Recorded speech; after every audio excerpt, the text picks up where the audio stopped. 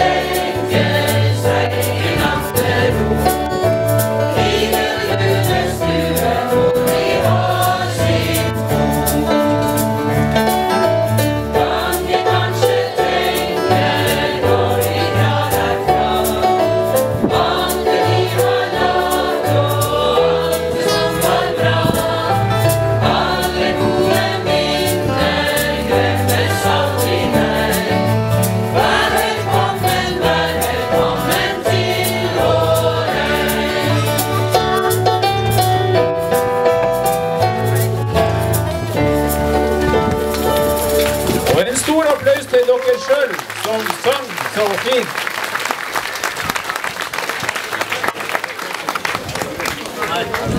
Da skal vi bla oss gjennom Kleklipen her i Sørvesten eh, og gå videre. Eh, Arnøya er jo velsigna med flotte musikkrefter, flotte sangkrefter. Eh, vi skal nå få eh, sang ved to av dem. Eh, og da må vi skifte litt mikrofon og litt sånne greier. Vi må ommøblere litt. Det høres ikke så nordnorsk ut, kanskje, når jeg forteller hva de skal synge. Dette er hun eh, Cecilie, og det er han Per Arne. Og de skal synge 'Lift Me'. Og det er nordnorsk så det holder. Bortsett fra teksten. Det er Madrugada fra Vesterålen. Eh, Veldig fin melodi. Staut, flott liten sak her.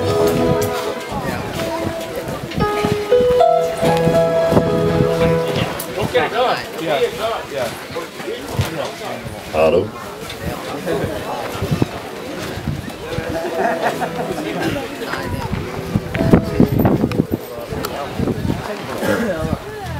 Hvorfor da, eller? Er jeg utafor?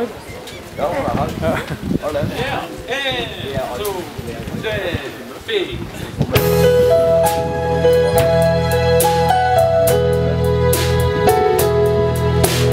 Lift me, lift me from the ground. And I'll never put me down, no, no. And don't pick a flight with me. Just flick a coin, my love, you have won. Oh Lord, slips her hand inside my hand.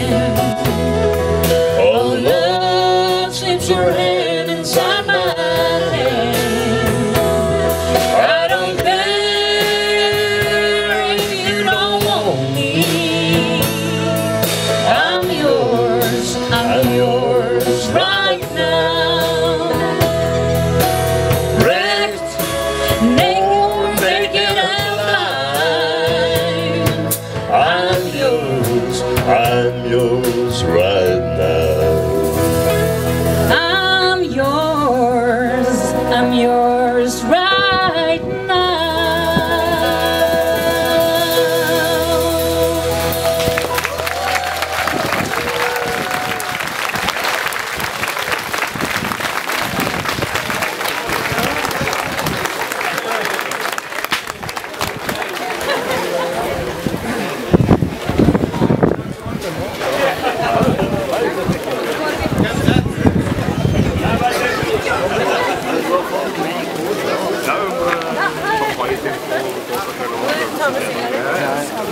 Ja, da skal vi over på eh, Bremnes.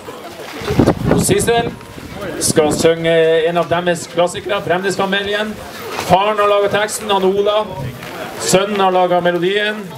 Det er da søskenflokken av sangene. Folk i husa. Da dryper puntaket, så hvis vi eh, ser litt hektisk ut i flekkene, så er det for at det er litt vått. Ja, som det står i teksten. Og så er det jo sånn, selvfølgelig, på en sånn sangtime som det her, at hvis dere kjenner melodien, hvis dere kjenner teksten og sånn, så er altså sangforbudet oppheva for lenge siden. Det er lov å synge med. Det er veldig trivelig hvis dere synger med. Vi er helt sikre på at vi synger litt for lite.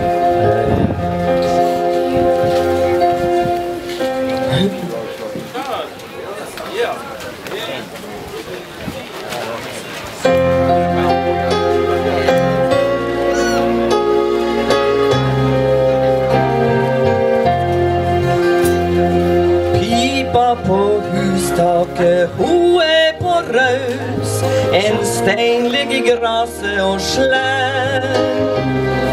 Torv har sprengt seg, hjernene er løs. Til år så vil torvtaket heng. Det skulle bo folk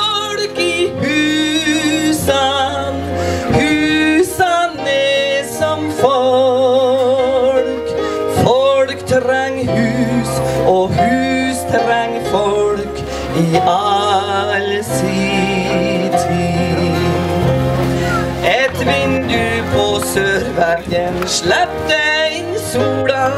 Nå er det åpent for regn.